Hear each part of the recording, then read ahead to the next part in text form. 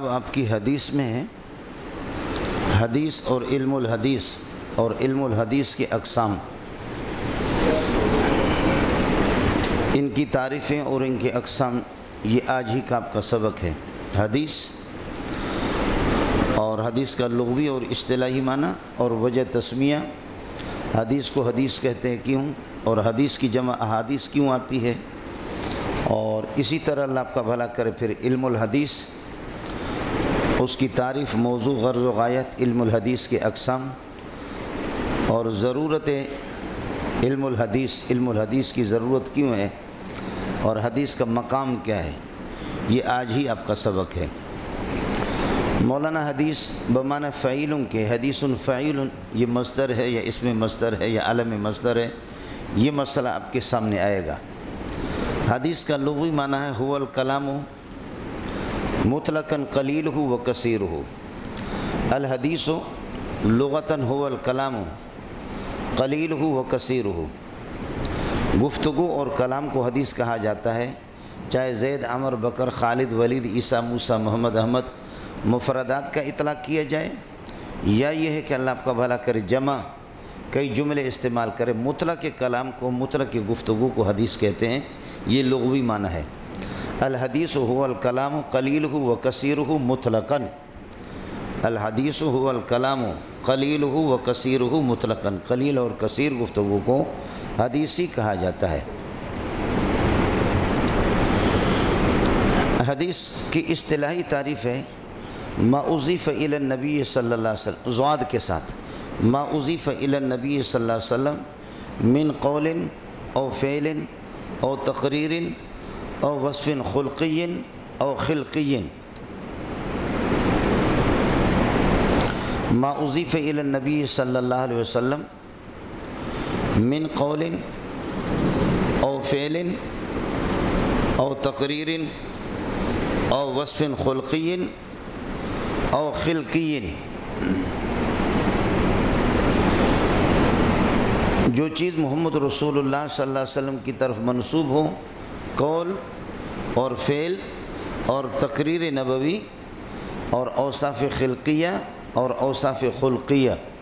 یہ ابھی میں آپ سے عرض کروں گا۔ جہاں تک معوضی فعل نبی صلی اللہ علیہ وسلم من قول، تو احادیث کے تقریباً نوے فیصد قول ہے۔ قال قال رسول اللہ صلی اللہ علیہ وسلم، انما الاعمال بالنیات۔ قال رسول اللہ صلی اللہ علیہ وسلم، المسلم من سلم المسلمون من لسانی و یدی۔ قال رسول اللہ صلی اللہ علیہ وسلم، لا یمن احدکم حتی اکون احب الیہ من والدہ و ولدہ والناس اجمعین۔ تو احادیث کا اکثر ہی حصہ نوے فیصد وہ اقوال ہے۔ آپ کو بات سمجھ میں آ گئی؟ قول نبی، ظاہر ہے کہ آپ نے کافیہ تو پڑھا ہے لیکن سمجھا نہیں اس کو۔ قال رسول اللہ، قال تو فعل ہے اور منصوب ہے یعنی اس کی نسبت ہو رہی ہے رسول اللہ فائل کی طرف۔ ضرب زید میں ضرب منصوب ہے، اس کی نسبت ہے زید کی طرف، زید منصوب ہے الفاعل ما اسند الیہ الفعل او شبہ وقدم الیہ علی جہت قیام ہی بھی جو اپنے آپ اس میں کافیہ میں پڑھا ہے۔ سمجھے؟ تو الحدیث ما اضیف الی النبی صلی اللہ علیہ وسلم من قول تو جو قول نبی کی طرف منصوب ہو، قال رسول اللہ صلی اللہ علیہ وسلم، یہ سارے حدیثیں اقوال ہے زیادہ تر۔ اور اصول فقہ میں آپ نے پڑھا ہے، لیکن اس طرف آپ نے توجہ بھی نہیں دی۔ یہی وجہ ہے کہ اصول فقہ والے وہ یہ کہتے کہ تشریعات آکام شرعیہ زیادہ تر وہ ان کا مدار اقوال رسول۔ فعل رسول نہیں ہے، چونکہ فعل میں احتمال ہوتا ہے کہ فعل اختصاص اور خصوصیت کا احتمال رکھتا ہے۔ نبی نے نو شادیاں کی یہ نبی کی خصوصیت ہے۔ آپ کے لیے نہیں ہے۔ سمجھ شریف میں ہے کہ نہیں؟ تو بہت سے اللہ آپ کا بھلا کریں افعال ہے جو مختص بن نبی صلی اللہ علیہ وسلم، حضرت صلی اللہ علیہ وسلم کے ساتھ خاص ہوتے ہیں۔ برخلاف قول کے کہ اقوال وہ عام ہے، مدار شریعت اور احکام شریع کے بنیاد وہ اقوال ہے۔ معضیف النبی صلی اللہ علیہ وسلم من قول او فعل یا آپ صلی اللہ علیہ وسلم کی طرف جس فعل کی نسبت ہو وہ بھی حدیث ہے۔ جیسے آپ پڑھیں گے سہن نبی صلی اللہ علیہ وسلم فسجدہ نبی پاک صلی اللہ علیہ وسلم کو نماز میں غلطی ہو گئی فسجدہ پس اس لیے آپ نے سجدہ کیا۔ یہ فاتعلیلیہ ہے۔ سہن نبی صلی اللہ علیہ وسلم فسجدہ آپ کو صحب ہو گیا۔ آپ نے چار رکعت کے بجائے دو رکعت آپ نے پڑھا دی۔ اور آپ کو بتایا گیا کہ یا رسول اللہ، نماز میں کمی آ گئی یا کیا ہوا؟ کہ آپ نے دو رکعت کیوں پڑھائی؟ تو پھر آپ نے یہ کہ دو رکعت اور پڑھائی اور آخر میں اپنے سجدے صحب کیا۔ تو سہن نبی صلی اللہ علیہ وسلم فسجدہ۔ یا قان نبی صلی اللہ علیہ وسلم فتوضا۔ حضرت نے کہہ کی اور پھر آپ نے وضو بنا دیا۔ یہ فعل ہے آپ صلی اللہ علیہ وسلم کی کہ سہن نبی صلی اللہ علیہ وسلم۔ صلی نبی صلی اللہ علیہ وسلم یہ سب افعال ہے اور تقریر یا تقریر نبوی۔ تقریر نبوی۔ یہ بھی حدیث ہے، تقریر قرار سے ہے مولانا۔ اور اس کو تفیل کے اندر لے گئے قرر یقرر تقریرا کا معنی کسی چیز کو اس کی جگہ پر ثابت رکھنا۔ کسی چیز کو ثابت رکھنا اور مضبوط کر لینا۔ مقرر کو، خطیب کو مقرر اس لیے کہتے ہیں کہ اچھا خطیب وہ ہوتا ہے جو اپنی بات کو پوری واضح کر کے سامعین کے ذہن میں ان کو قرار اور ان کو ٹھہراتا ہے اور ان کو مضبوط کر بٹھاتا ہے۔ اچھا خطیب وہ ہوتا ہے کہ مقرر جو اپنی بات کو سمجھائے دوسروں کو۔ یہ نہیں ہے کہ جب اچھلتا ہے، کودتا ہے، کھٹکتا ہے، پٹکتا ہے، ٹپکتا، کپکتا کپکتا، وہ اس کی اردو کے الفاظ لفاظی ہوتی ہے۔ بعد میں لوگوں سے کہو کہ آدھا پونا گھنٹے کے بعد خطیب کی تقریر کا مضمون کیا تھا؟ مضمون سوائے بکواس اور لفاظی کی کچھ بھی نہیں تھی۔ تو تقریر کہتے ہیں کہ کسی چیز کو، یہ ہے کہ اس کو یہ ہے کہ ٹھہرا دینا اور اس کو یہ کہ مضبوط کر دینا۔ تقریر نبوی کا مطلب یہ ہوتا ہے کہ آپ کے سامنے کوئی عمل کر رہا ہے اور آپ صلی اللہ علیہ وسلم اس پر نکیر نہیں فرما رہے۔ یہ اس بات کی دلیل ہے کہ یہ جائز ہے اگر وہ ناجائز ہوتا تو پھر حضرت صلی اللہ علیہ وسلم یقیناً اس پر یہ کہ نکیر فرماتے، انکار کرتے۔ جیسے کہ گو ہے، زب، گو۔ اب گو کا گوشت آپ کے سامنے کھایا گیا ہے، آپ نے خود نہیں کھایا۔ فرمایا کہ میں اس کو ناپسند کرتا ہوں اور مجھے یہ پسند نہیں ہے۔ باقی لا آکل ولا حرم کھاتا بھی نہیں، اس کو حرام بھی قرار نہیں دیتا۔ وقت اکیل علامہ عدت رسول اللہ صلی اللہ علیہ وسلم، حضرت کے دسترخوان پر وہ کھایا گیا۔ حضرت خالد بن ولید نے کھینچا، کھینچ کر کے سامنے سارا کا سارا کھا لیا۔ چونکہ وہ اب یہ کہ گو حلال ہے، شافیہ کے یہاں حلال ہے، ہمارے یہاں حرام ہے، یہ مستقل ترمیزی ثانی میں اس پر باب آئے گا اور مستقل بحث آئے گی۔ لیکن ایک مثال میں عرض کر رہا ہوں کہ شافیہ کہتے ہیں کہ اگر یہ حرام ہوتا تو نبی پاک صلی اللہ علیہ وسلم کی تقریر اس کو حاصل نہ ہوتی۔ حضرت صلی اللہ علیہ وسلم کی تقریر اس کو حاصل نہ ہوتی۔ یا اپنے شر و نخبہ میں پچھلے سال پڑھا ہے۔ کنہ نازل و والقرآن ینزل۔ کنہ نازل و والقرآن ینزل ہم ازل کرتے تھے اور قرآن کا نزول تھا. کنہ نازل والقرآن ینزل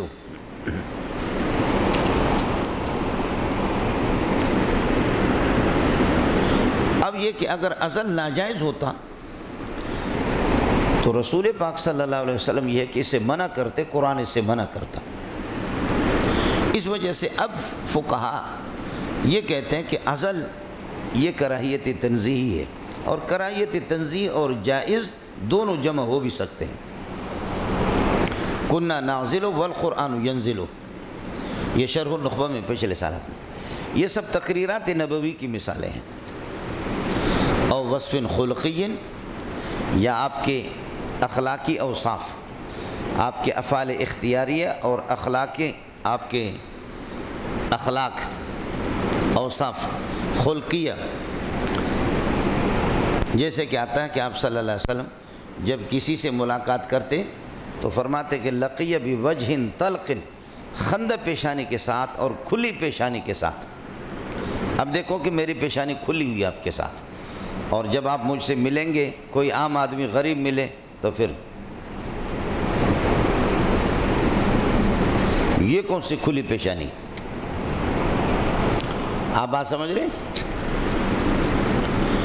یا فرماتے ہیں کہ جب آپ سے ہاتھ ملاتے جب تک آپ اپنا ہاتھ نہیں کھینچیں گے تو حضرت صلی اللہ علیہ وسلم اپنے ہاتھ نہیں کھینچتے۔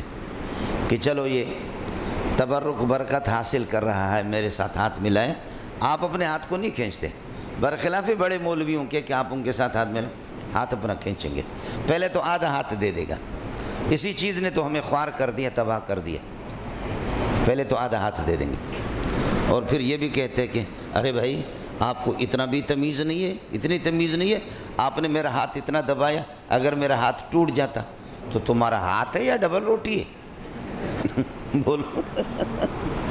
تو ہاتھ ہے یا ٹماٹر ہے، کیا ہے؟ آپ بات سمجھ رہے نہیں سمجھ رہے؟ اگر میرا ہاتھ ٹوٹ جاتا تو پھر کیا ہوتا؟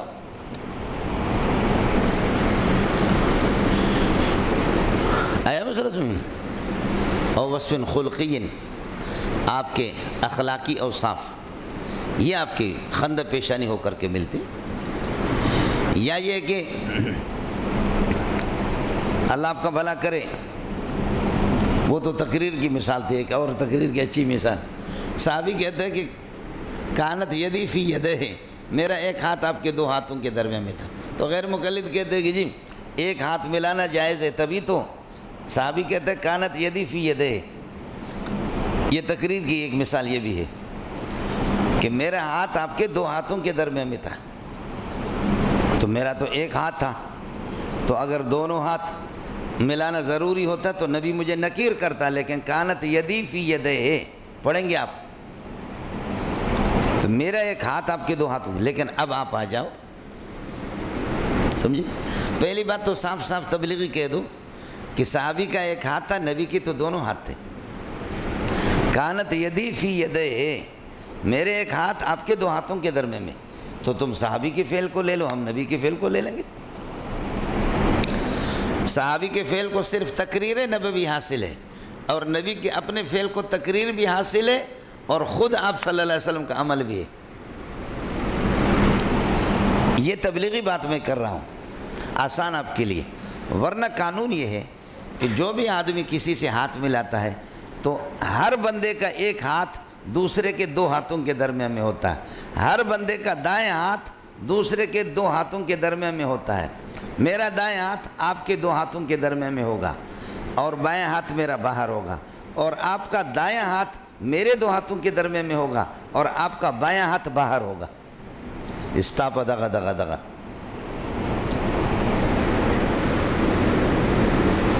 ادھر اخبار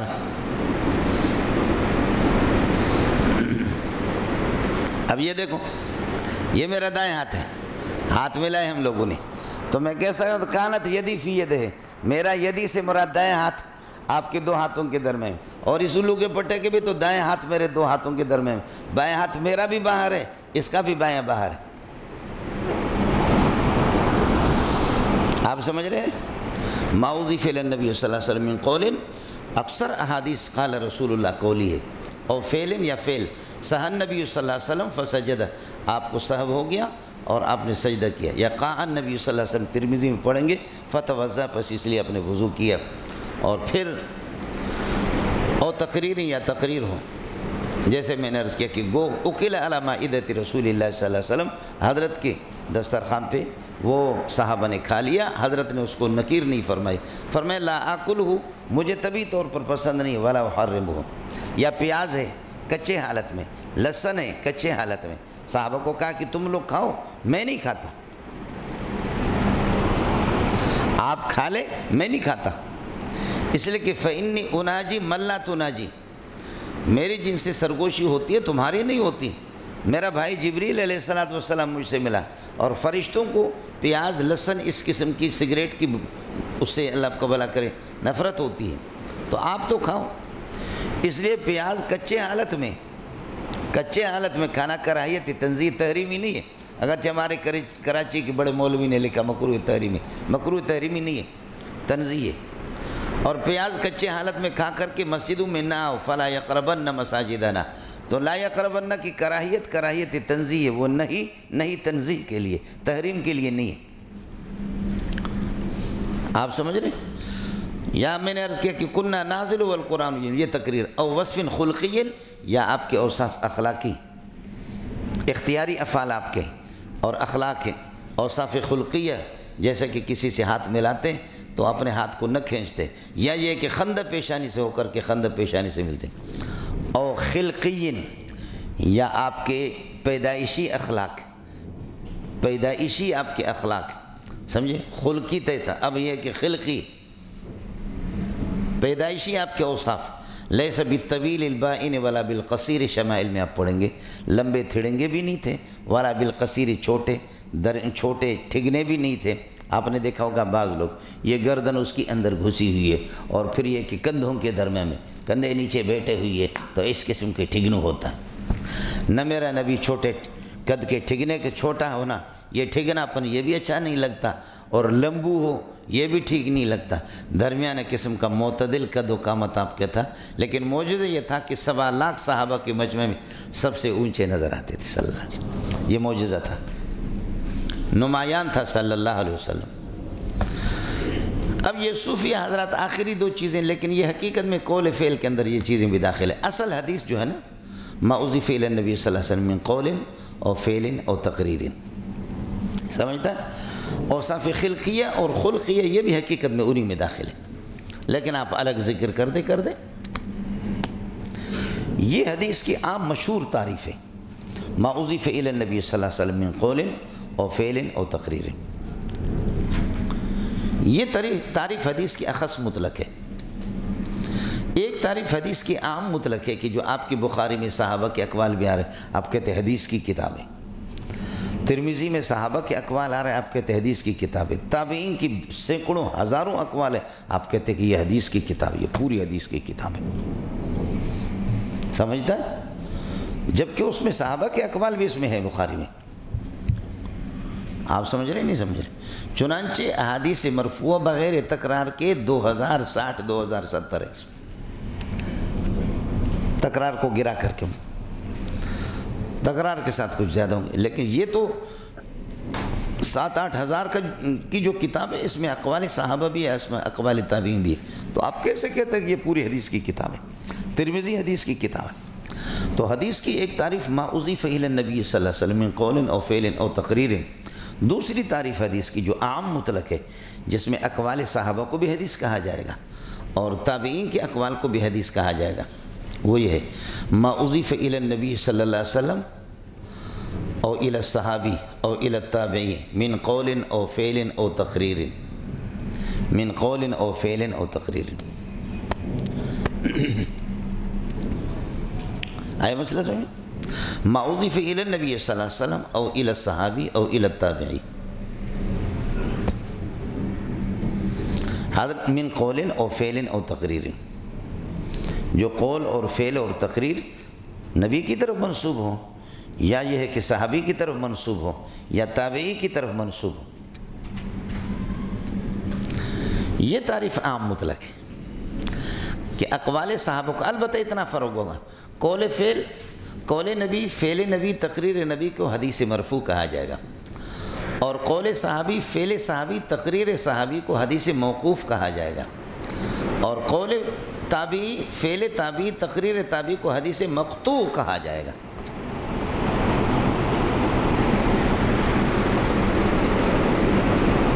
سمجھ شریف ہے کہ نہیں؟ قول اور فعل اور تقریر یہ تینوں جب صحابی کے ہوں گے تو ان کو حدیث موقوف نبی کے تو مرفوع اور یہی تینوں اگر تابعی کے ہوں تو حدیث مقتوع کہا جائے گا۔ سمجھتا ہے آپ آسان طریقے یہ کہہ دیں کہ موقف وقف علی صحابی صحابی پر اسٹاپ ہو گیا۔ آگے بات جا نہ سکی۔ حدیث موقف سمجھ شریف ہے کہ اور مقتوق قطع عن صحابی و عن الرسول، نبی اور صحابی سے کٹا ہوا۔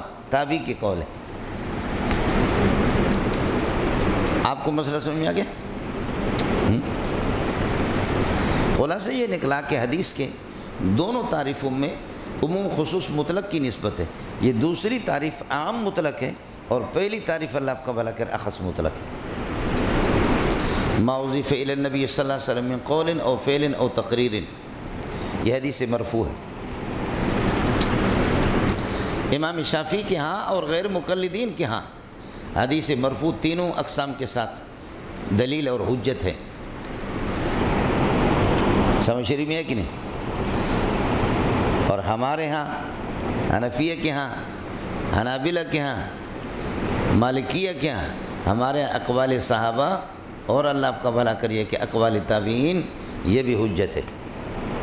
اس لیے بخاری پر پورا عمل کرنے والے لوگ ہم ہیں۔ بخاری میں تو دو ڈھائی ہزار حدیث مرفوع ہے، باقی تو موقوفات ہیں، موقوفات سینکڑوں ہزاروں ہیں مقتوعات ہیں۔ اس لیے نہن نومن بالبخاری کل ہی، ہم پورے بخاری پر ہمارا ایمان ہے بخلاف غیر المقلدین، برخلاف غیر المقلدین۔ یومنون ببازی و یکفرون ببازی بولو یومنون ببازی و یکفرون ببازی اللہ کے لیے ان باتوں کو سمجھا کرو، یہ باتیں کام آ جاتی ہے پھر۔ بخاری پر مکمل ہمارا عمل ہے۔ چنانچہ امام شافی رحمۃ اللہ علیہ نے کہا کہ اقوال صحابہ میرے ہاں حجت نہیں ہے۔ ہم رجال و نحن رجال صحابہ رجال ہے تو ہم بھی رجال ہیں۔ امام ابو حنیفہ فرماتے صحابہ کے مقابلے میں ہم رجال نہیں ہے ہم رجال و انا رجیل امام ابو فرماتے، ہم رجال و انا رجیل صحابہ رجال میں رجیل ہوں، رجل نہیں ہوں ان کے مقابلے میں. واہ واہ۔ اس لیے لوگوں نے امام شافی کے بارے میں مشہور کیا کہ بڑا گستاخ ہے، اس نے بڑی گستاخی کی۔ سمجھتا ہے کمال ہے ان لوگوں کا۔ خاص طور پہ امام ابو حنیفہ اور امام احمد ابن حنبل۔ کمال ہے ان کا مولانا۔ آپ کو مسئلہ سمجھ میں آیا؟ الحدیث ما اضیف الى النبی صلی اللہ علیہ وسلم من قول او فعل او تقریر، آگے او وصف خلقین او خلقین ذکر کرے یا نہ کرے ٹھیک ہے؟ یہ تعریف اخص مطلق ہے۔ دوسری تعریف عام مطلق میں نے عرض کیا۔ الحدیث معوضی فعل النبی صلی اللہ علیہ وسلم، او الى الصحابی، او الى التابی من قول او فعل او تقریر۔ البتہ یہ تینوں جب نبی کی طرف ان کی نسبت ہوگی تو حدیث مرفوع، صحابی کی طرف تو حدیث موقوف، تابعی کی طرف تو حدیث مقطوع۔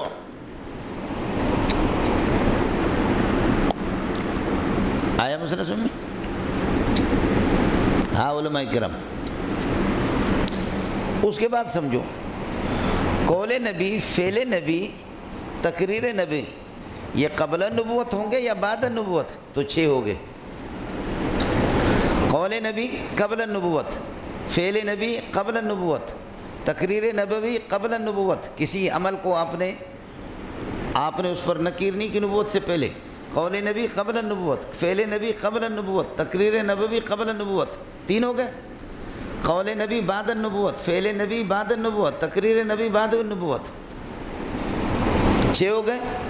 ان چھ میں سے ہر ایک، اما ان یکون مختصم بن نبی او لا یکون مختصم بھی نبی کے ساتھ خاص ہوگا یا نہیں ہوگا؟ تو پھر بارہ ہو گئے. چھ تو ہو گئے نا وہ؟ اب یہی چھ میں ہر ایک میں دو احتمال ہوں گے. سمجھتا کچھ بلا پڑ گیا؟ اگر آپ چاہیں تو اس طرح آسان ہے آپ کے لیے. قول نبی قبل النبوت. سمجھے؟ اور قول نبی بعد النبوت، قول نبی قبل النبوت آپ کے ساتھ مختص ہوگا یا قبل النبوت آپ کے ساتھ مختص نہیں ہوگا؟ دو۔ قول نبی بعد نبوت آپ کے ساتھ مختص ہوگا یا نہیں ہوگا؟ دو۔ چار۔ فعل نبی قبل نبوت آپ کے ساتھ مختص ہوگا یا آپ کے ساتھ مختص نہیں ہوگا؟ فعل نبی بعد نبوت آپ کے ساتھ مختص ہوگا یا آپ کے ساتھ مختص نہیں ہوگا؟ آٹھ۔ تقریر نبی قبل نبوت آپ کے ساتھ مختص ہوگا یا آپ کے ساتھ مختص نہیں ہوگا؟ تقریر نبوی بعد نبوت آپ کے ساتھ مختص ہوگا یا نہیں ہوگا؟ بارہ ہوگا۔ آیا مسئلہ سمجھ مولانا؟ یہ بارہ قسمیں ہوگی مولانا؟ آئے مسئلہ سمجھ اس کے بعد آ جاؤ مولانا۔ آپ کی کتابوں میں آگی حدثنا۔ اخبرنا انبانا تو حدثنا تو حدیث، اور اخبرنا خبر سے، اور انبانا نبا سے. نبا بھی خبر کو کہتے ہیں، اور خبر بھی خبر کو کہتے ہیں. البتہ اتنا فرق ہے، الخبر یشمل الاخبار الجلیلت والحقیرت لفظ خبر، اخبار جلیلہ اور حقیرہ سب کو شامل ہے، عام مطلق ہے. برخلاف نبا کے کہ نبا اس خبر کو کہتے ہیں کہ اخبار جلیلہ کو وہ شامل ہوتا ہے۔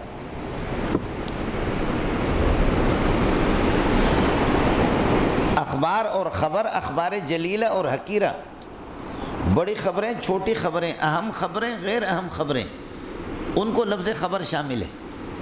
برخلاف نبا کے کہ نبا اخبار جلیلہ کو عظیمہ، مہمہ اما يتسالون عن النبأ العظيم الذي هم فيه مختلفون؟ اما يتساءلون؟ پھر فرمائے یتساءلون عن النبأ العظیم الذي هم فيه مختلفون اس خبر کے بارے میں کہ جو بہت عظیم خبر ہے۔ تو نبا کا اطلاق اخبار جلیلہ پر ہوتا ہے اور اخبار اخبار عام مطلق ہے، وہ اخبار جلیلہ اور حقیرہ، صغیرہ، کبیرہ، ہر قسم کی خبر پر خبر کا اطلاق ہوتا ہے۔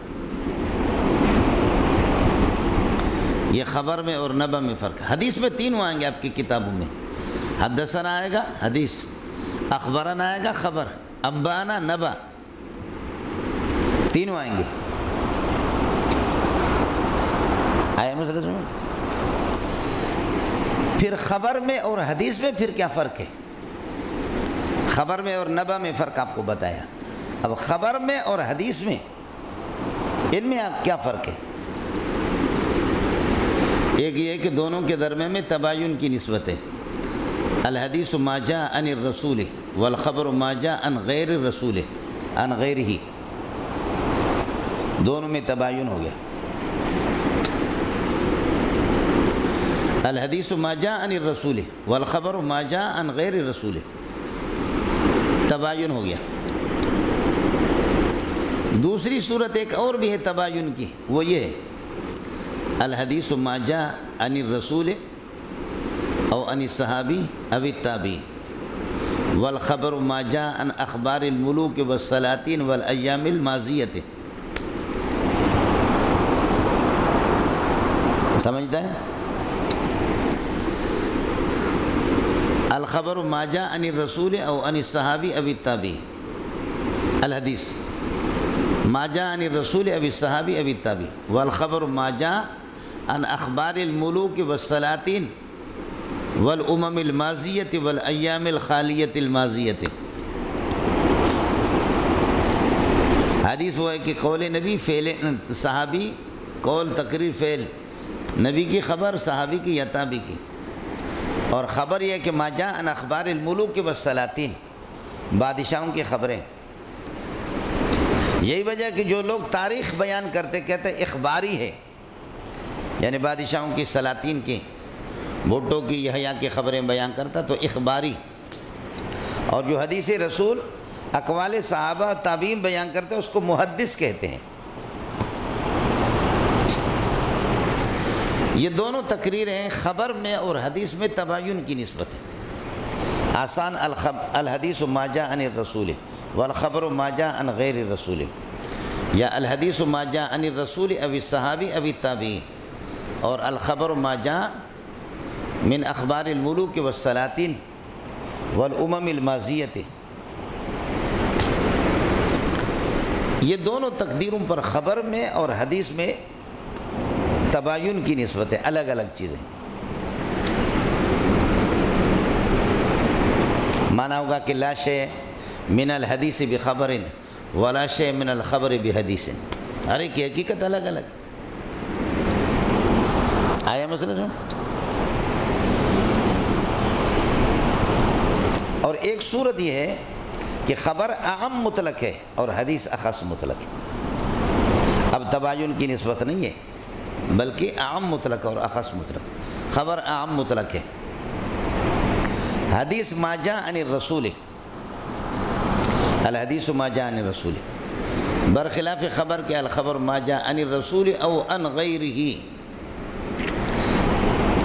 چاہے نبی سے خبر ہو یا غیر نبی سے، یہ عام مطلق ہو گیا۔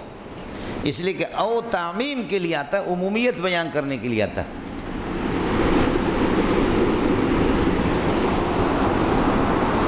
علماء کرام، علماء بنی اسرائیل۔ آپ کو کچھ بلا پڑ رہا ہے؟ اس وقت حدیث اخص مطلق ہو گیا اور خبر عام مطلق۔ نتیجہ نکلا کہ فکل حدیث خبر ولیس کل خبر حدیث۔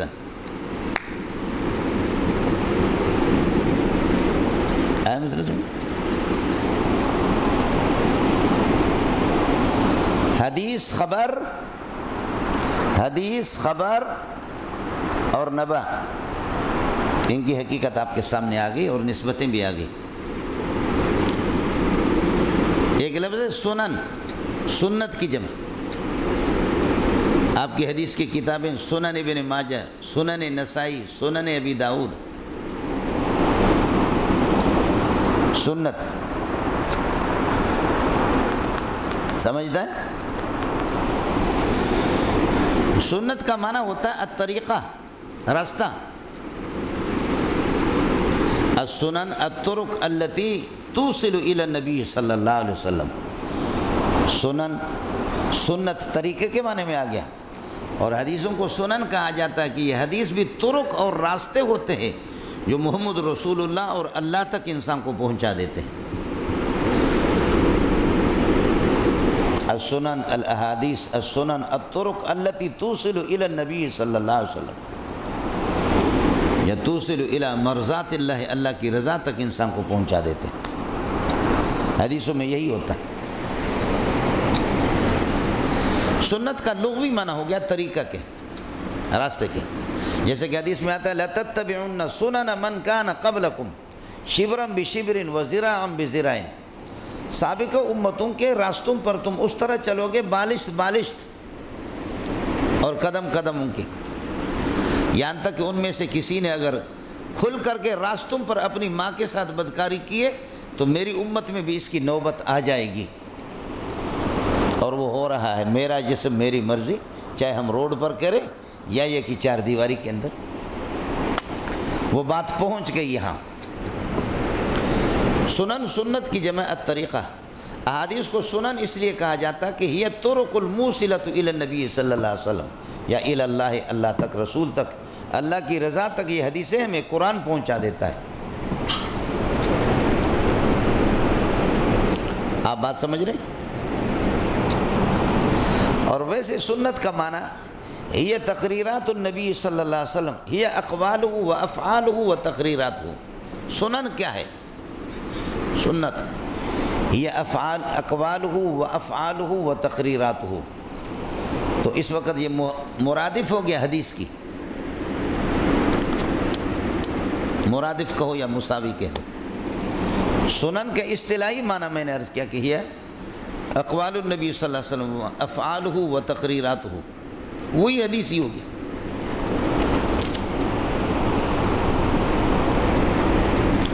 سمجھتا ہے؟ اس لیے ہماری کتابوں میں، احادیث کی کتابوں میں سنن ابی داؤد، سنن نسائی، سنن ابن ماجہ۔ سنن الترمزی کہا گیا، لیکن انشاءاللہ یہ بحث آئے گی کہ ترمزی سنن میں سے بھی ہے اور ترمزی جامعات میں سے بھی ہے۔ جامع الترمزی زیادہ مشہور ہے اور بہتر ہے۔ لیکن سنن کا بھی اطلاق ہوتا ہے۔ یہی وجہ کہ حضرت اقدس، محدث اعظم حضرت مولانا بنوری رحمۃ اللہ علیہ فرمائے معارف السنن. ترمزی کی شرح معارف السنن۔ کہ سنن و ترمزی کے جو معارف اور مسائل حقائق، دقائق، باریکیاں ہیں، وہ سب کچھ مولانا بنوری فرماتے ہیں، میں تمہارے سامنے رکھ دیتا ہوں۔ معارف السنن معارف الحدیث۔ آپ کو بات سمجھ آ رہی؟ ویسے سنن میں نے عرض کیا، یہ انشاءاللہ مسئلہ آپ کے سامنے آئے گا کہ خود سنت میں اور حدیث میں عموم خصوص میں وجن کی نسبت ہے۔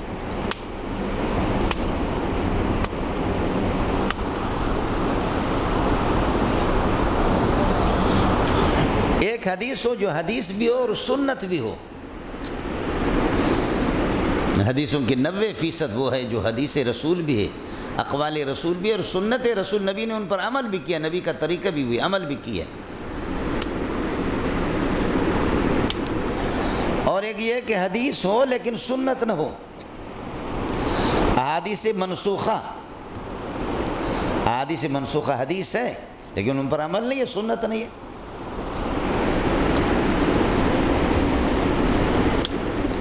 سمجھ رہی اور یہ بھی لکھ لو کہ یہ ضروری نہیں ہے کہ ہر حدیث صحیح پر عمل ہو۔ ایک حدیث محدثین کا بالکل صحیح ہوتی ہے۔ بالکل، سو فیصد۔ لیکن امت کے ہاں اس پر عمل نہیں ہے۔ وہ حدیث ہے، لیکن وہ سنت نہیں، اس پر عمل نہیں ہے۔ حدیث بھی ہو، سنت بھی ہو، یہ تو عام حدیثوں میں ہوتا ہے۔ حدیث ہو، لیکن سنت نہ ہو، احادیث منسوخہ۔ یا بہت سے احادیث صحیح معلولہ جن میں علت ہوتی ہے۔ حدیث تو ہوتی ہے وہ، لیکن اس پر عمل نہیں ہوتا۔ اور تیسری صورت ہے، سنت ہو لیکن حدیث نہ ہو۔ جیسے جمعہ کی پہلی اذان، جیسے تراوی کی بیس رکاتیں یہ سنن صحابہ ہے۔ یہ حدیث نہیں، یہ حدیث کی تعریف جو اصل مشہور معوضی فعل نبی صلی اللہ علیہ وسلم قول او فعل او تقریر کس کو سمجھ میں آ گیا؟ یہ سنت صحابہ. علیکم بسنتی. تو آپ کی سنت بھی ہے، حدیث بھی ہے. علیکم بسنتی و سنت الخلفاء الراشدین. تو خلفاء الراشدین بہت سی چیزیں آپ کو ایسی بھی دیں گے کہ جو میرے ہاں سراتن اس کا تذکرہ نہ ہو. وہ سنت الخلفاء الراشدین. تو سنت کا سنتی پر عطف ہے. اور العطف یقتضی المغایرت ایسی چیزیں بھی صحابہ دیں گے کہ جو محمد رسول اللہ صلی اللہ علیہ وسلم نے دیا نہیں، سراہتاً نہیں دیے۔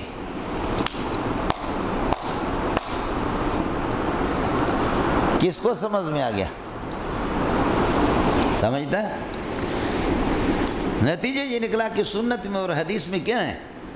عموم خصوص میں وجہ کی نسبت ہے۔ حدیث بھی ہے، حدیث صحیح ہے، احادیث صحیح ہے۔ اور سنت بھی ہے نبی کا اس پر عمل ہے، صحابہ کا عمل ہے۔ اور حدیث ہے لیکن سنت نہیں ہے۔ وہ ضابطہ نہیں ہے۔ عمل نہیں ہے اس پر۔ جیسے کہ بہت سے احادیث صحیح معلولہ یا منسوخہ۔ امام ترمزی آپ کو بتائے گا، دو روایتیں کہ پوری امت کے ہاں صحیح ہے۔ لیکن میرے ہاں چھبیس مجتہدین کا نام بار بار وہ لیتا ہے اپنی کتاب میں۔ لیکن فرماتے ہیں، ان مجتہدین میں سے کسی کا بھی اس پر عمل نہیں ہے۔ لیکن وہاں پہنچ کر ہم آپ کو بتائیں گے کہ حنفی زندہ آباد حنفی کا ان پر عمل ہے۔ حضرت نے اپنی دانست کے مطابق فرمایا، لیکن اللہ نے فیہ کو غری کے رحمت کر دے۔ امام ابو عنیفہ فرماتے حدیث صحیح تو اپنی جگہ پر ہے۔ حدیث ضعیف بھی ہماری قیاس سے بہت اونچی چیز ہے۔ قیاس نیچے ہے، حدیث ضعیف بھی ان سے اونچا ہے۔ ہماری قیاس کی نسبت ہماری طرف ہے۔ قائس مجتہد ہوتا ہے، ہم قیاس کرتے ہیں۔ اور حدیث اگرچہ ضعیف ہے، لیکن اس کی نسبت محمد کی طرف ہے۔ قال رسول اللہ ہے، پھر بھی محمد رسول اللہ زندہ باد اور ہم لوگ مرد آباد واہ واہ۔ امام احمد کا مذہب بھی یہی ہے۔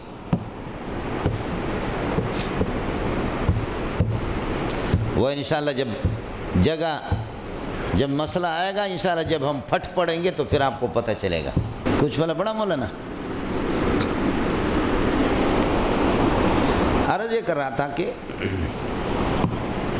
حدیث میں اور سنت میں خصوص میں وجہ کی نسبت، احادیث صحیح ہے ان پر عمل بھی ہے، صحابہ اور حضرت اقدس صلی اللہ علیہ وسلم کا وہ حدیث بھی ہے، وہ سنت بھی ہے۔ حدیث صحیح ہے، معلول ہے یا منسوخ ہے؟ وہ سنت نہیں ہے۔ یہ افطرا کی مادہ۔ یا سنت صحابہ ہے، لیکن حدیث رسول نہیں ہے۔ جیسے کہ میں نے عرض کیا کہ اذان اول ہے، یا اللہ آپ کو بلا کرے تراوی بیس رکعت جماعت کے ساتھ۔ اللہ کے لیے کچھ بلا پڑا نہیں پڑا یہ حدیث میں اور سنت میں دونوں میں فرق میں نے آپ کو بتا دی۔ آیا مسئلہ سن عموم خصوص میں وجہ کی نسبت ہے۔ ایک چوتھا پانچواں لفظ آتا ہے، اثر، آپ کی کتاب الآثار، امام محمد کی۔ اللہ تعالیٰ توفیق دے دے، کتاب الآثار امام ابو یوسف کے لے لو، وہ اس سے زیادہ مضبوط ہے۔ کتاب الآثار امام محمد کی بھی ہے، جو آپ پڑھتے رہتے سادے سے میں۔ کتاب الآثار امام ابو یوسف کی۔ اس میں صحابہ کے اقوال بھی ہے، احادیث مرفوع بھی ہے۔ تو اثر کا معنی آتا ہے، بقیت الشے علامت الشے بقیت الشے اور اصل کا اشترائی معنی اثر کا معروی یعنی ان صحابی او ان تابی صحابی سے۔ اور اس کا ایک معنی یہ بھی ہے کہ معروی عنی نبی صلی اللہ علیہ وسلم او عنی صحابی۔ چنانچہ کتاب الاثار مشکل الاثار ان کے اندر احادیث رسول بھی ہوتے ہیں اور اللہ آپ کو بھلا کریے کہ کیا ہے؟ صحابہ اور تابعین کے اقوال بھی ہوتے ہیں۔ یہ ہو گیا حدیث کے مولانا لغوی معنی، اصطلاحی معنی، حدیث بالمعنی مشہور الاخص، حدیث بالمعنی الاعم، اور پھر یہ کہ متن حدیث کی، اس کی بارہ قسمیں، اور پھر یہ کہ حدیث میں اور اس میں خبر میں فرق، اور خبر میں اور نبا میں فرق، اور سنت اور اثر، یہ چیزیں اس سے ہم لوگ ہو گئے فارغ۔ آیا مسئلہ سمجھو حدیث کا لغوی اور اصطلاحی معنی آپ کو بتایا اب سمجھو حدیث کی جماعت احادیث۔ حدیث کی جماعت احادیث۔ وَيُعَلِّمُكَ مِن تَعْوِيلِ الْأَحَادِيث۔ لیکن حدیث فعیلوں کے وزن پر ہے۔ ہمارے صرف میں کوئی بھی ایسا فعیل نہیں ہے جس کی جمع افائیل آ جائے۔ بات ختم ہو گئی۔ اس نے لوگوں کا دماغ خراب کر دیا اس چیز نے۔ حدیث فعیلوں کے وزن پر ہے۔ اور کوئی بھی ایسا فعیل نہیں ہے کہ جس کی جمع افائیل آ جائے۔ حدیث احادیث احادیث تو افائیل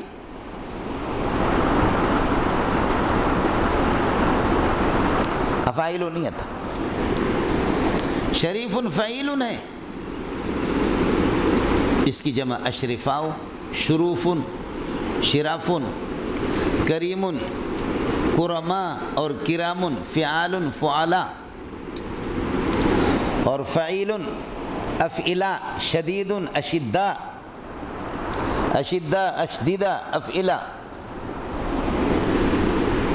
فعیل، جمع اس کی فعول، ظریف، ظروف۔ فعیل، اس کی جمع فعلان، کفیز، کفزان۔ کفیز قفزان اور اقفزہ۔ لیکن فعیل اس کی جمع افعیل آ جائے، یہ کہیں بھی نہیں ہے۔ صرف میں۔ تو حدیث فعیل ہے تو اس کی جمع افعل افعیل کس طرح؟ احادیث آ گیا۔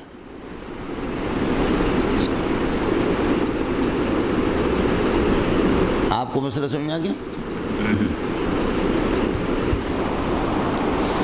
ہار گئے صرفی یہاں پر۔ صاف صاف انہوں نے کہا یہ خلاف قیاس اس کی جمع ہے۔ شاز ہے، جہاں پر قانون نہ چلے کہتے شاز ہے۔ حدیث کی جمع، احادیث کہتے ہیں یہ شاز ہے۔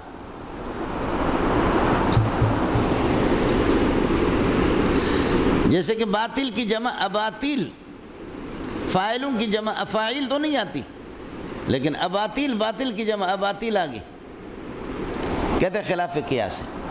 یہاں فعیلوں کی جمع افائل آگے، یہ خلاف قیاس ہے۔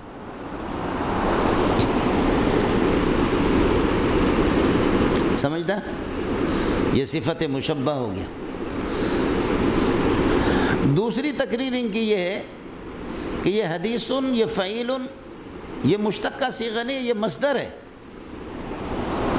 مصدر ہے، یہ حدیث مصدر ہے۔ الثلاثی مجرد چلو چار۔ وزن مصدر آمد ایزی وقار۔ فعل فعلا فعلتم فعلا بفتح قتل دعویٰ کیا ہے؟ لیت. قتل دعویٰ؟ تم لوگ بھی ذوق ہونا سمجھے؟ تو اس میں فعیلوں بھی آپ کو ملے گا۔ یہ مصدر ہے اور لیکن ہے تحدیث کے معنی میں۔ یہ مصدر ہے لیکن تحدیث کے معنی اس میں بھی جمع آیا خلاف قیاس۔ صرف تھوڑا سا فرق ہو گیا کہ یہ مشتق کا سیغہ نہیں ہے۔ مصدر ہے مشتق منو مصدر مشتق نہیں ہوتا، مصدر مشتق منو ہوتا ہے۔ لیکن جمع اس کی احادیث خلاف قیاس ہے۔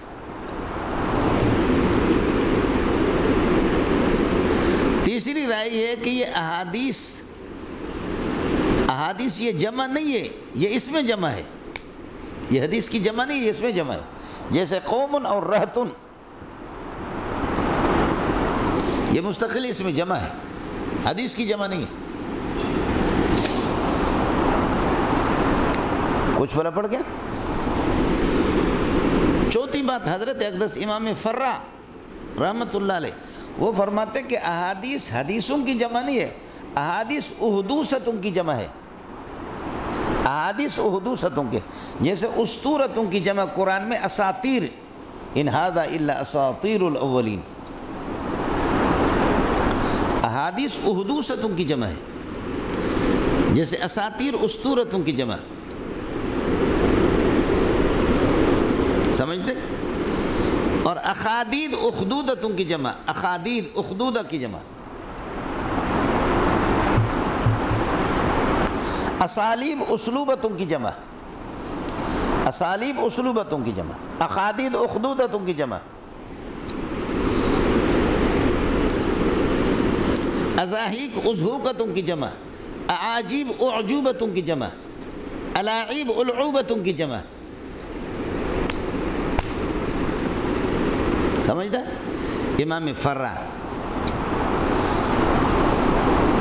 چھوٹے موٹے لوگوں نے اعتراض کیا کہ احدوثہ ہنسی مذاق والی باتوں کو کہتے ہیں، جبکہ یہاں احادیث کا اطلاق تو نبی کے ارشادات اور فرامین پر ہو رہا ہے۔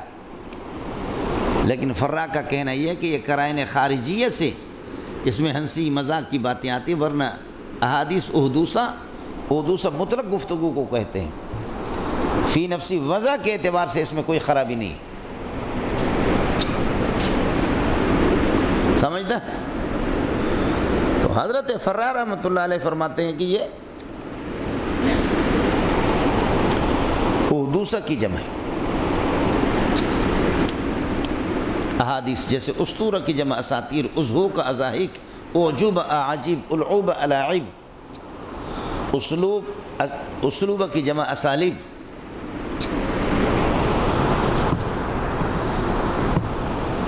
سمجھتا پانچویں بات علامہ آلوسی رحمۃ اللہ علیہ، کہ علامہ آلوسی رحمۃ اللہ علیہ فرماتے ہیں کہ احادیث یہ جمع نہیں ہے، یہ جمع الجمع ہے۔ حل بڑا فرماتے حدیث کی جمع آتی احدوثتن اور احدوثہ کی جمع احادیث۔ یہ جمع جمع الجمع ہے یہ۔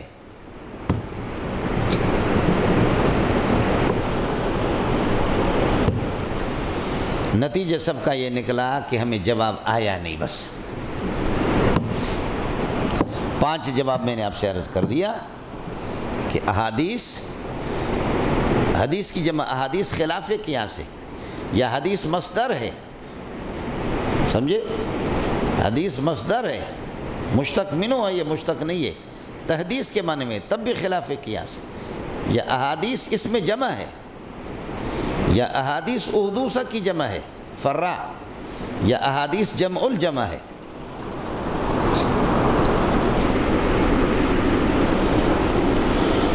کچھ بلا بڑھ گیا بزرگ دوستو عزیز و بزرگ بھائیو اب آ جاؤ۔ وجہ تسمیت اقوال نبی صلی اللہ علیہ وسلم بالحدیث۔ حضرت صلی اللہ علیہ وسلم کے اقوال اور افعال اور تقریرات کو حدیث کیوں کہتے ہیں؟ وجہ تسمیہ۔ کیوں؟ جیسے دیکھو اس کو کہتے ہیں جدار۔ جدیر کا معنی لائق، یہ اس لائق ہے کہ اس پہ سہارا لگاؤ، یہ اس لائق ہے کہ آپ کی حفاظت کرے، باہر کی گولی آپ کو لگے گی نہیں۔ جدیر بأن یحفظ کا یہ لائق ہے کہ یہ آپ کی حفاظت کرے۔ اس کو کہتے ہیں مروہ راحت سے ہے۔ یہ قابل ہے کہ آپ کو راحت پہنچا رہا ہے، ہوا آپ کو پہنچا رہا ہے۔ اس کو کہتے ہیں مسند، جائے سہارا، تو اس پر سہارا، کتاب کا سہارا تو اسی پر ہوتا۔ ہے اس کو کہتے ہیں عین عین کا منع جاسوس۔ تو جاسوسی آدمی آنکھوں سے کرتا ہے یا ناک سے کرتا ہے؟ اس کو کہتے ہیں ید۔ اس کا معنی قوت کے، قوت اس میں ہوتی ہے۔ چیز تاک بھاری اور بڑی چیزیں ہاتھ سے اٹھاتے، ناک سے کوئی نہیں اٹھاتا۔ منہ سے کوئی بھی نہیں اٹھاتا۔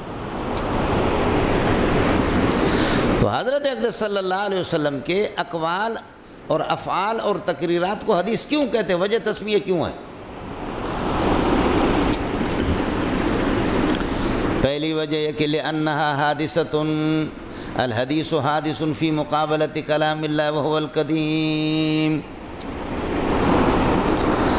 حدیث کو حدیث اس لیے کہتے ہیں کہ اس کا اطلاق نبی کے اقوال پر ہوتا ہے اور نبی پاک صلی اللہ علیہ وسلم کے اقوال، ارشادات اور افعال، تقریرات، یہ سب کے سب حادث ہیں کلام اللہ کے مقابلے میں برخلاف کلام اللہ کے القرآن و کلام اللہ تعالیٰ، غیر مخلوق یہ غیر مخلوق اور قدیم اللہ کی صفت ہے جیسے کہ اپنے بڑا جنیدہ پتریا سمجھتا ہے؟ ہاں تو انما سمی الحدیث بالحدیث انما سمی کلام النبی صلی اللہ علیہ وسلم۔ نبی کے کلام کو بالحدیث، حدیث کیوں کہتے ہیں؟ لِأَنَّهُ حَادِثٌ فِي مُقَابَلَةِ کلام اللہ القدیم۔ اللہ کے کلام قدیم کے مقابلے میں یہ حادث ہے۔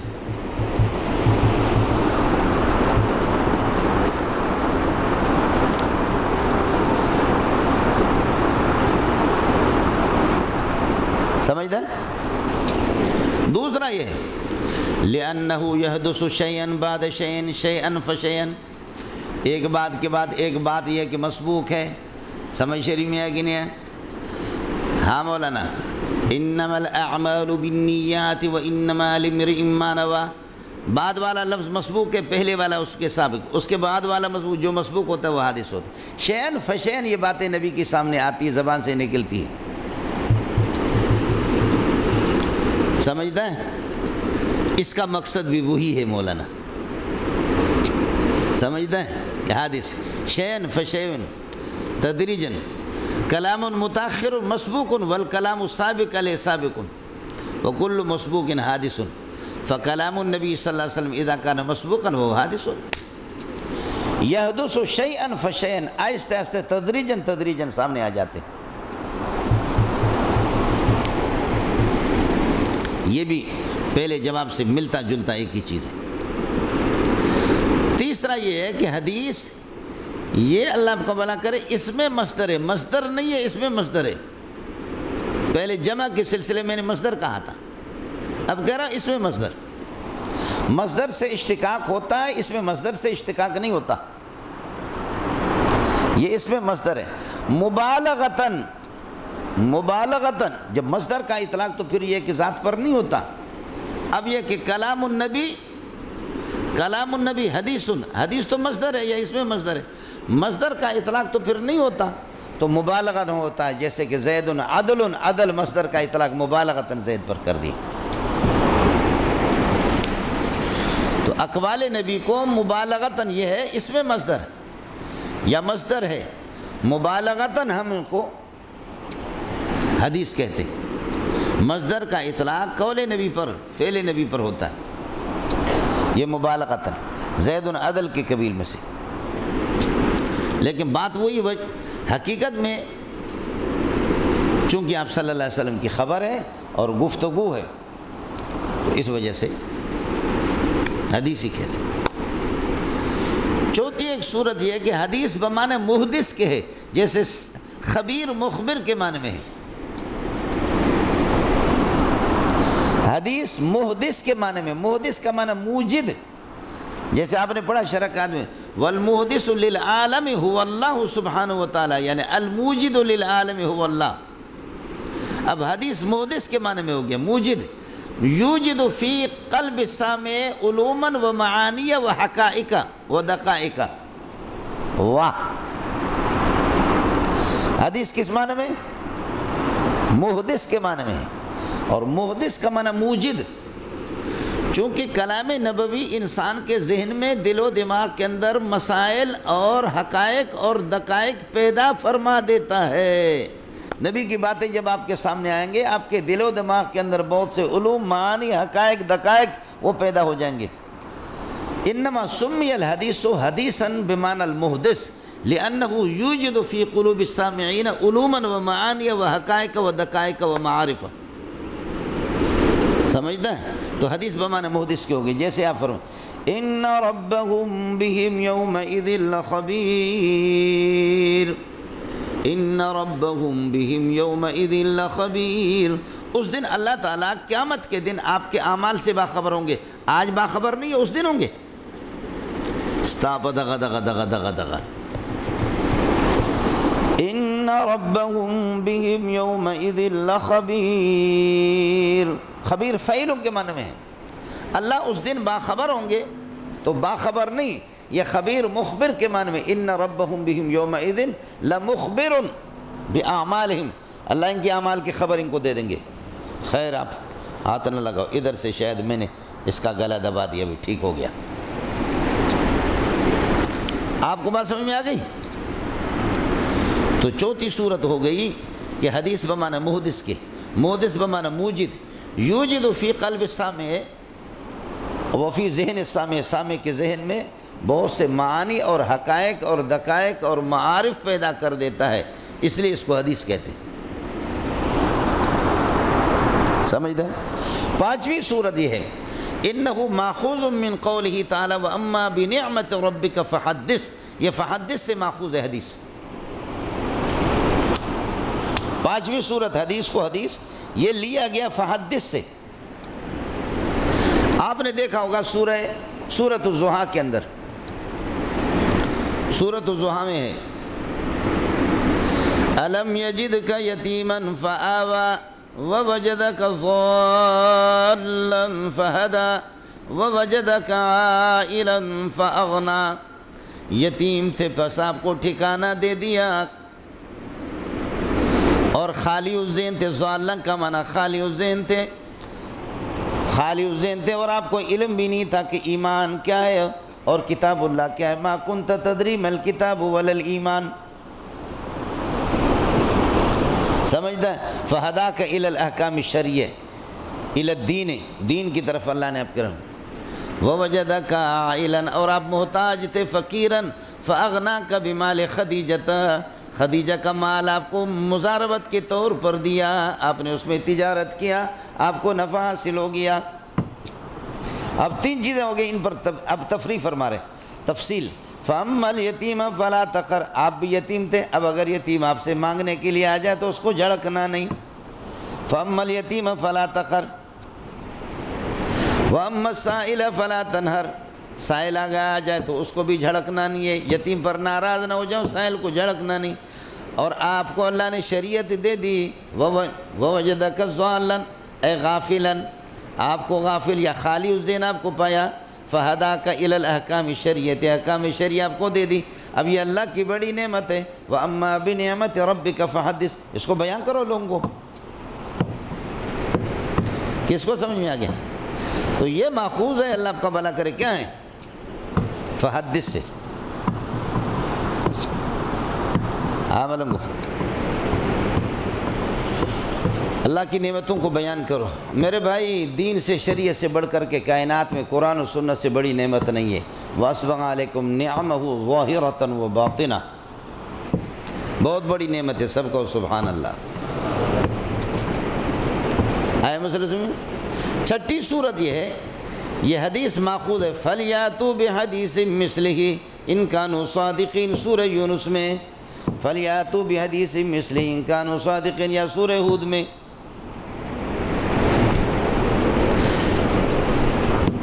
حدیث سے قرآن مراد ہے، لیکن اب عام ہو گیا۔ قرآن اور حدیث دونوں پر اس کا اطلاق ہے فلیاتو بحدیث مثلہی اسی سے ماخوذ ہے۔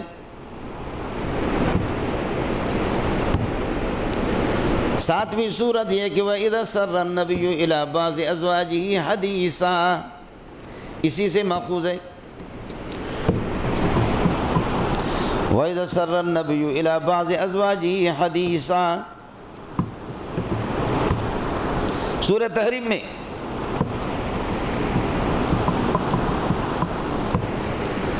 سب سے بہترین توجہ مولانا خیال کر لینا۔ حدیث عام ہے۔ اور یہ کلی ہے۔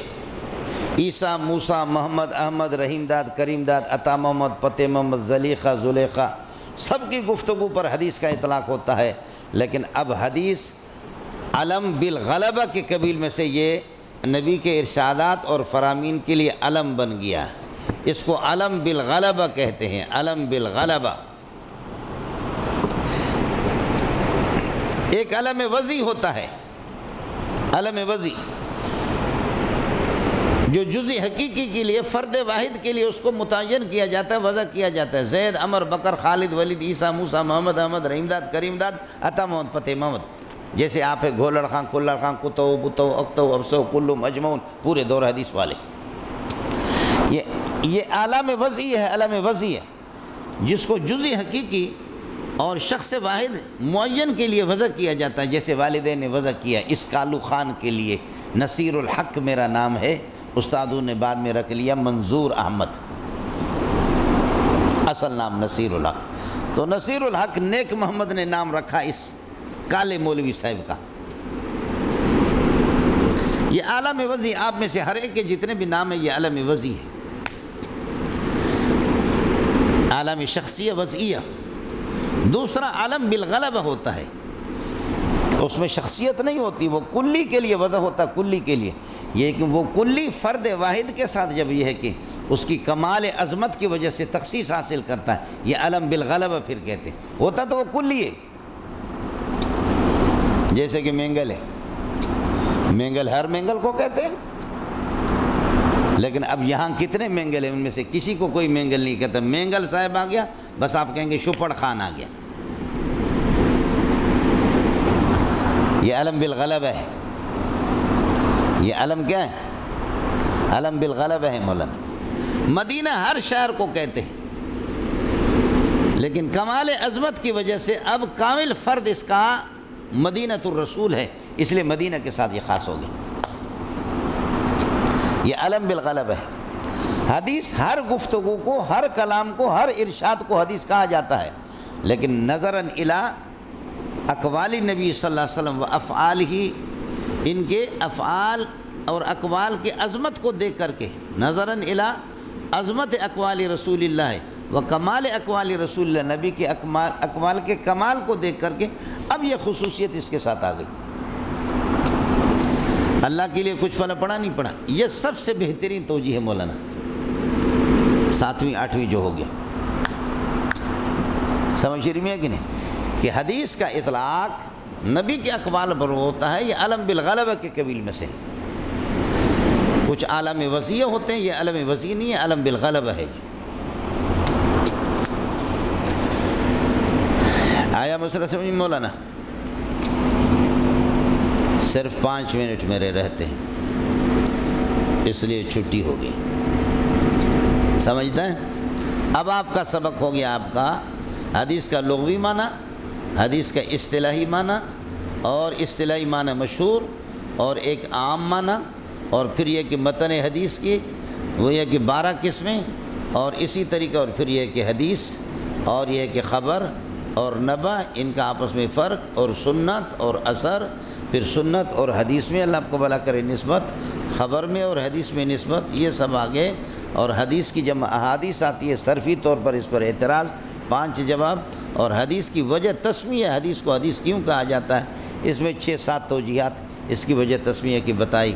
وقول قول هذا واستغفر اللہ علی ولکم ولسائر المسلمین فاستغفر